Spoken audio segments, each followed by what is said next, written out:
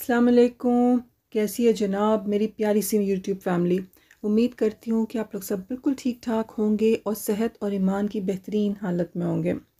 हम सब जो है वो दुरुशरीफ का ज़िक्र करना चाहते हैं और कितने लोग जो हैं वो, जिन्होंने अपना जर्नी स्टार्ट करना है दुरुशरीफ का, वो नई से नई चीज़ें जो हैं वो पूछ भी रहे होते हैं कि वो क्या करें कि वो दुरुशरीफ स्टार्ट करें। आज एक भाई ने जो है वो अपनी मेरेकल स्टोरी शेयर की है। ये भाई पहले भी बहुत इबादत करते थे और कसरत से दुरू शरीफ पढ़ते ही पढ़ते थे। फिर इन्होंने सोचा कि दिन का कुछ हिस्सा ऐसा होगा कि जब ये दुरू शरीफ पढ़ेंगे तो इतना जो है वो दुरू शरीफ के ऊपर कंसंट्रेट करेंगे, इतना ध्यान से उसको पढ़ेंगे कि जो जो लफ्ज़ कह रहे होंगे ना, उसको महसूस करेंगे दिल से और दिमाग से। इनका दुरू शरीफ जो है वो सारा दिन जो है वो तहजद से लेकर रात तक ख़त्म होता है। तो आपने जो है ना इस वीडियो को स्किप नहीं करना, इसमें उन्होंने डिटेल से बताया कि उन्होंने जब दुरुशरीफ का ज़िक्र किया, कसरत भी रखी और कसरत के बाद यह है कि उसमें से कंसंट्रेशन भी रखी तो उनकी ज़िंदगी में क्या क्या चेंजेस आए और ये सब कसरत करने के लिए उन्होंने अपनी ज़िंदगी में क्या क्या कुछ चेंज किया है जिसकी वजह से रब ताला ने उनके ऊपर ये करम कर दिया। आ, हम सब जो है वो जब दुरुशरी पढ़ना शुरू करते हैं तो दुरुशरी पढ़ने वाले को जो है वो नए से नए तरीके से जो है ना वो नए से नए सीखे पढ़ने का शौक़ पैदा होता है। ज़्यादा से ज़्यादा तादाद में दुरुशरी पढ़ने का शौक़ पैदा होता है। गर्ज़ के ये ख़ुद ब खुद ही आपके जहन में ख्याल आ जाते हैं और दुरू शरीफ एक ऐसा सिस्टम है कि जिससे आप जुड़ जाते हैं तो अल्लाह ताला आपकी रहनुमाई करता है, नए से नए ख्याल डालता है और आप उस जर्नी के अंदर जो है वो तरक्की करते चले जाते हैं और नई नई चीज़ें जो हैं वो अल्लाह ताला आपको सिखाता भी है और बहुत सी चीज़ों में जो है वो आपकी रहनुमाई भी हो रही होती है। दूसरी पढ़ने के लिए जो है ना स्पेशल अल्लाह ताला जो है वो आपको सेलेक्ट करता है। और ये सिर्फ़ बहुत चुने हुए लोग ही होते हैं जो कि दुरू शरीफ पढ़ पाते हैं, वरना कितने लोगों को मैंने देखा है वो कितना चाह कर भी जो है वो दुरू शरीफ जो है वो स्टार्ट नहीं कर पाते। और आप ये सोच लें कि जितना ज़्यादा जो है वो अल्लाह ताला आपको अजर देगा और चीज़ आपके लिए बेहतरीन होती है,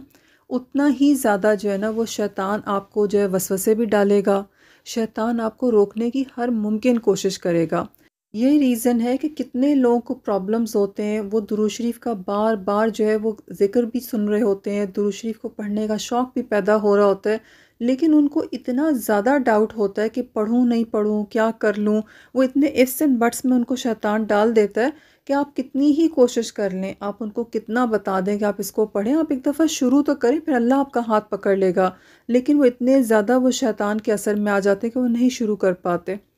आज जो है वो एक भाई जो कि दुरुशरीफ का बहुत ज़्यादा ज़िक्र करते हैं और बहुत कसरत से दुरुशरीफ पढ़ते हैं। तो ये भाई जो है इन्होंने दुरुशरीफ पढ़ना शुरू किया और उसके बाद उन्होंने आ, मेरी ही एक वीडियो देखते हुए जो है उन्होंने सुना कि दुरुशरीफ जो है ना ऐसा है कि आप उसके अंदर बहुत ज़्यादा अपना फ़ोकस कर लें। अगर क्वांटिटी से पढ़ते हैं ना तो उसमें आप ऐसा करें कि बहुत ज़्यादा फ़ोकस करके उसको पढ़ना शुरू कर दें।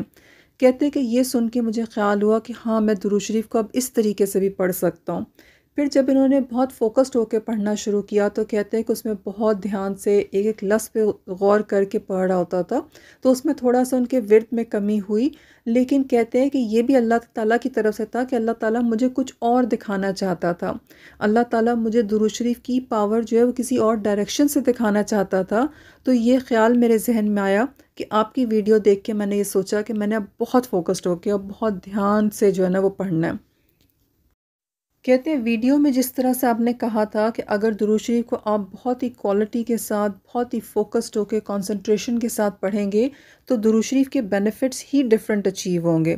कहते हैं, ये सुन के तो मैंने ये सोचा कि अब मैं अपने दुरुशरीफ के अंदर जो है ये चेंज लेकर आऊँगा। कहते हैं कि फिर ऐसा हुआ कि बहुत ज़्यादा फोकस्ड होकर बहुत ज़्यादा क्वालिटी के साथ, बहुत ज़बरदस्त तरीके से जो है वो दुरुशरीफ पढ़ना शुरू किया। और कहते हैं, पूरी कोशिश होती थी कि फ़ोकस हिले नहीं। और कहते हैं कि उसमें ये हुआ कि जो इतना नंबर में पढ़ता था, वो कम हो गया। भाई जो हैं, ये दुरुशरी पहले कसरत से पढ़ते थे और आहिस्ता आहिस्ता इनका इतना वो स्टेमिना बिल्डअप हो चुका था कि ये जो है वो तीन से चार हज़ार तक या उससे थोड़ा सा ज़्यादा भी जो है वो दुरुद इब्राहिमी एक दिन में पढ़ पाते थे। जब बहुत फोकस से पढ़ना शुरू किया तो फिर तादाद से ज़्यादा मेरा होता था कितना बेहतरीन फोकस से पढ़ूँगा तो वो फिर जो है वो दो या ढाई हज़ार ही पढ़ पाते थे। लेकिन कहते हैं कि उसके बाद जो मुझे चेंजेस फ़ील होना शुरू हुए, वो मेरा एंटायर एक डिफरेंट दरू शरीफ का जो है ना वो जर्नी था। कहते हैं वो इतना ज़बरदस्त एक्सपीरियंस था, इतना ज़बरदस्त चेंज मैंने फ़ील किया कि जो मैं पहले फ़ील नहीं करता था, जबकि ये इबादत में बहुत ज़िक्र असकार भी करते हैं अस्तगफ़ार भी पढ़ते हैं। ये भाई कहते हैं कि अब जब मैंने अपने दुरुशरीफ के ज़िक्र को चेंज किया तो कहते हैं, मुझे इतना ज़्यादा सुकून और इतना ज़्यादा मज़ा महसूस हुआ, जो कि दुरुशरीफ पढ़ने में पहले कभी भी एक्सपीरियंस नहीं किया था। कहते हैं, हालाँकि ये दुरू शरीफ जो है, ये पहले भी कसरत से पढ़ने वालों में से थे, लेकिन कहते हैं कि जब मैंने अपना फोकस बिल्कुल मेंटेन किया और फोकस की क्वालिटी जो है वो कम नहीं होने दी फोकस को बिल्कुल हटने नहीं दिया, कहते फिर मुझे ऐसा हुआ कि जैसे दुरू शरीफ का जो मैं ज़िक्र कर रहा हूँ उसमें से जो भी नूर या रूहानियत है, वो मेरे अंदर एब्जॉर्ब होती चली जा रही है। और ऐसा है कि जैसे मेरी रूह स्ट्रांग हो रही है, और वो स्ट्रेंथ जो है, वो मैं अपनी फ़िज़िकल बॉडी के अंदर भी जो है, वो फ़ील कर रहा हूँ। और कहते हैं कि मैंने फिर वो स्ट्रेंथ अपनी बॉडी में फ़ील करना शुरू की। वो ताकत, वो सुकून, वो चुस्ती, जिस तरह की मैं अपने, जब 20 साल का था और तब भी मैंने शायद मजबूती वो महसूस नहीं की थी अपनी बॉडी के अंदर, जो कि मैं अब महसूस करना शुरू हो गया इस ज़िक्र के बाद। कहते हैं, जब से जो है ये फोकस्ड होकर दरुशरी पढ़ना शुरू किया कि हर हर लफ्ज़ जो ज़बान से अदा हो रहा हो ना, मेरा दिमाग उस चीज़ को महसूस करे और मेरी बॉडी को पता चल रहा हो कि अब कौन सा लफ्ज़ जो है वह अदा हुआ। लेकिन ये सारे टाइम में जब मैं इतने कॉन्सेंट्रेशन से पढ़ रहा होता हूँ तो कहते हैं, ऐसा नहीं है कि मैं अपने बाकी ये काम छोड़ दिए या काम पे नहीं जाता। कहते हैं कि काम पे भी जाता हूँ रूटीन के काम भी चल रहे होते हैं और साथ में मेरा दुरुशरीफ का विरद भी चल रहा होता है। लेकिन कहते हैं उसके अंदर भी ऐसा है कि जो अल्फाज मेरी ज़बान से अदा होते हैं और जो फोकस और कंसंट्रेशन है मैं उसको ब्रेक नहीं होने देता। कहते हैं कि मैंने इस तरह का मेंटेन किया हुआ है कि मैं जो जितना दुरुशरीफ मेरी ज़बान से अदा होता है मेरी बॉडी का हर हर सेल उसको महसूस करते हैं। सारा दिन जो है, कहते हैं कि अव्वल वक्त ये नमाज़ पढ़ते हैं और इनकी डेली रूटीन जो है, वो तहजद से स्टार्ट होती है और फिर वहाँ से इबादत इनकी पूरा दिन इन्होंने टाइम फ़िक्स किया हुआ है। ये ज़िक्र असकार करते हैं, अल्लाह के नाम भी पढ़ते हैं और दुरुश्री बहुत कसरत से पढ़ते हैं। कहते हैं, लेकिन सारी रूटीन में हर काम करने के बावजूद जब से मैंने दुरुशरीफ को पढ़ना शुरू किया और प्लस जितना ज़्यादा फोकस उसमें बढ़ा दिया, तब से मुझे ऐसा लगता है कि इतनी ज़्यादा रूटीन में जो है काम करने के बावजूद भी मुझे थकन नहीं होती, मेरी प्रोडक्टिविटी बढ़ गई है। कहते हैं, जब से इस तरह से पढ़ना शुरू किया दुरुशरीफ तो मुझे ऐसा लगता है कि मेरा अल्लाह ताला के साथ कनेक्शन जो है वो पहले से बहुत ज़्यादा बढ़ गया। उस कनेक्शन का लेवल इतना बढ़ गया कहते हैं कि अब जब मैं दुआ मांग रहा होता हूँ तो मुझे इतना मज़ा आता है दुआ मांगने में। मुझे लगता है बस मैं अल्लाह से कहे जा रहा हूँ और दुआ के लिए जब हाथ उठते हैं तो मेरा हाथ नीचे करने को ही दिल नहीं चाहता। बस मेरा दिल चाहता है माँगता चला जाऊँ, माँगता चला जाऊँ और अल्लाह ताला ने जो है ना मुझे स्पिरिचुअली भी और मेरी सारी जो इबादतें, उन सब के अंदर जो है ना मुझे एक और तरह की लज्जत, एक और तरह का सुरूर, एक और तरह का सुकून दिया जो कि पहले पहले मुझे अपनी इबादतों में ऐसे फ़ील नहीं होता था। कहते इबादत का ज़ौक़ शौक़ पहले भी था, इबादत में सुकून भी था, लेकिन अब जो फ़ील होता है, वो पहले नहीं था। मुझे ऐसा लगता है कि जितना ज़्यादा मैंने अपना फोकस और कंसंट्रेशन बढ़ाया, उतना ही ज़्यादा मेरी इबादत, मेरी दुआ और मेरी ज़िंदगी हर चीज़ में जो है ना, उसकी क्वालिटी भी इम्प्रूव हुई है और उसमें जो एक लुत्फ़ और मज़ा, उसकी कैफियत ही बदल गई है। कहते हैं कि ऐसा नहीं है कि दुरू शरीफ पढ़ते वक्त जो है मैंने सिर्फ़ ये सोचा कि मुझे दुरू शरीफ पढ़ना और मैं पढ़े जा रहा था। कहते हैं, जितनी ज़्यादा इबादत का ज़िक्र मैं कर रहा हूँ कि मैं कर पाता हूँ तहजद से मेरी रूटीन स्टार्ट होती है तो कहते हैं कि यह दुरू शरीफ के साथ जुड़े रहना, नमाज़ें अव्वल वक्त पढ़ना तहजद से अपने दिन का आगाज़ करना और दुरू शरीफ के अलावा अल्लाह ताला के नाम पढ़ते हैं और और भी ज़िक्र असकार करते हैं। कहते हैं, ये सब तौफीक मिली है कि जितना ज़्यादा हम अल्लाह ताला से जुड़ेंगे और अपना लाइफस्टाइल चेंज करेंगे। आजकल हम सब के लाइफ ऐसे हैं कि ना चाहते हुए भी हमें ख़बर ही नहीं होती, लेकिन हम हर वो काम अपनी ज़िंदगी में कर रहे हैं जो कि हमें अल्लाह से दूर कर रहा है, या अल्लाह की नाराज़गी का बायस बन रहा है। हमें जो है वो अगर इबादत का लुत्फ महसूस करना है और दुरू शरीफ के फुल बेनिफिट्स जिसमें हमारे दिल, रूह अमाल और हर चीज़ ऐसी हो कि बस अल्लाह के साथ कनेक्शन स्ट्रॉन्ग से स्ट्रॉन्ग तर होता चला जाए। तो उसके अंदर कहते हैं कि इन्होंने अपने लाइफस्टाइल चेंजेस ये किए। कहते हैं कि आपको जो है ना, अपनी आँखों को, कानों को महफूज करना होगा गुनाह के कामों से और इतना ही आपको अपने ज़िक्र में जो है वो ज़्यादा आसानी और ज़्यादा लुत्फ़ आने लगेगा। और साथ साथ आपकी इबादत की क्वालिटी में भी जो है वो इजाफ़ा होने लगेगा। और फिर कहते हैं कि आपकी दुआओं में वो खुशबू, वो क्वालिटी होगी वो आसानी और मेरेकल्स होंगे। कि आपको ख़ुद समझ में नहीं आएगी कि आपकी लाइफ में कैसे चेंज आ गया। कहते हैं कि गुनाह के कामों से जो है ना वो आपने बचना है। गुनाह के कामों से आपने अपनी आँखों को, अपने कानों को, अपनी ज़बान को बचा के रखना है। कहते हैं कि आपने गलत पिक्चर्स नहीं देखनी, आपने जो है वो किसी नाम महरम के ऊपर नज़र नहीं डालनी, चाहे आप ख़ातून हैं या साहब हैं। आपने ऑपोजिट जेंडर को नहीं देखना। चाहे आप मूवीज़ में देख रहे हों, चाहे आप जो है वो किसी ड्रामा में देख रहे हों, या आप नॉर्मल लाइफ में हो, कहते हैं कि आपने जो है ना वो नाम महरम के ऊपर नज़र नहीं पड़ने देनी म्यूज़िक आपके कान में नहीं पड़े, और फिर आप देखेंगे कि जब आप दुरुशरीफ पढ़ेंगे ना तो वो लुत्फ़ ही कुछ और होगा। कहते हैं पहले भी इबादत थी, लेकिन पहले ये सारे लाइफस्टाइल चेंजेस नहीं थे। फिर कहते हैं, जब से मैंने ऐसा हुआ कि अपनी इबादत के साथ साथ ख़ुद ही दिल में आया कि मुझे अब ना महरम को नहीं देखना। मुझे म्यूज़िक कहते हैं, पहले भी नहीं सुनता था, और लेकिन क्या है कि अब हम कोई भी कमर्शियल देख रहे होते हैं, कोई टीवी ड्रामा देखते हैं, कोई न्यूज़ है, कुछ है तो हर चीज़ के पीछे म्यूज़िक है। कहते हैं, मैंने पूरी कोशिश कर ली, इन सब चीज़ों से ख़ुद को दूर कर लूँ। फिर कहते हैं कि चाहे टीवी हो फ़िल्म हो तो कहते हैं नाम महरम को मैं बिल्कुल नहीं देखता।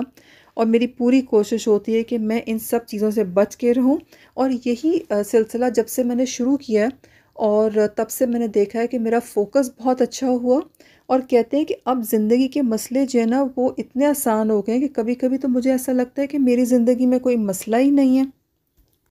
कहते हैं कि मुझे तो इस तरह से लगता है कि अल्लाह ताला जो है ना, वो दुनिया में हमें अपनी दुआओं को कायम रखने और अपनी इबादत में क्वालिटी को लाने के लिए और उसको मेंटेन करने के लिए जो है, वो प्रॉब्लम्स देता है, ताकि इंसान कोशिश करे बेहतर होने की, उस सिचुएशन से निकलने की। तो जब वो इंसान कोशिश करता है तब भी ऐसा है कि अल्लाह ताला जो है, वो उसके मामलात को बेहतरीन करना शुरू करता है और अल्लाह ताला मामलात को अटका के भी इसीलिए रखता है, ताकि इंसान जो है, वो उस तरह की मेहनत करे कि ओवरऑल उसके अमाल में, उसकी पर्सनालिटी में, उसकी दुनिया की ज़िंदगी और उसकी आखरत की ज़िंदगी सब जो है ना उनके अंदर क्वालिटी आए और उन सब में अपग्रेड हो।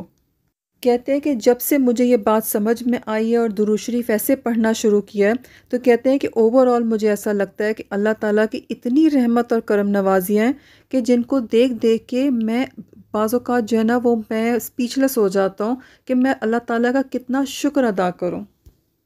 कहते हैं कि मेरे मामलात में जो है वह अब रुकावट नहीं है, मेरे कामों में बहुत ज़्यादा आसानी है। फिर कहते हैं कि मैं अपनी सेहत में बहुत बरकत देखता हूँ। मैं देखता हूँ कि मेरी सेहत में जो है मेरी ईमानी क़वत और मेरी जिस्मानी कुत दोनों में बहुत इजाफा हुआ है। और कहते हैं जितना कि मैं तंदुरुस्त और तोाना और ताकतवर ख़ुद को शायद 20 साल की उम्र में भी नहीं समझता था मैं उससे कहीं ज़्यादा फ़िट ख़ुद को अब महसूस करता हूँ। और कहते हैं बावजूद मेरी रूटीन बहुत हेक्टिक है, उसके बावजूद मैं सारा इबादत भी मैनेज कर लेता हूँ, दिन के काम भी मैनेज हो जाते हैं और थकन नहीं होती। इतनी ज़्यादा बरकत अल्लाह ताला ने जो है वो मेरे कामों में दे दी है, मेरे वक्त में दे दी और मेरी सेहत में दे दी है। तहजद और दुरू शरीफ, इसकी बरकत से ओवरऑल कहते हैं कि मुझे अपनी ज़िंदगी में ऐसा लगता है बहुत स्मूथ सा फ़्लो है और मेरी ज़िंदगी जो है ना, उसमें रुकावटें, परेशानियाँ या बीच बीच में ऐसी चीज़ें जो आपका टेंपो ब्रेक करती हैं या आपको बेमज़ा कर देती हैं कहते हैं, ऐसी सब चीज़ों को अल्लाह ताला ने मेरी ज़िंदगी से दूर कर दिया। कहते हैं, अब मुझे इबादत जो है ना, उसमें बहुत लज्जत और सुकून महसूस होता है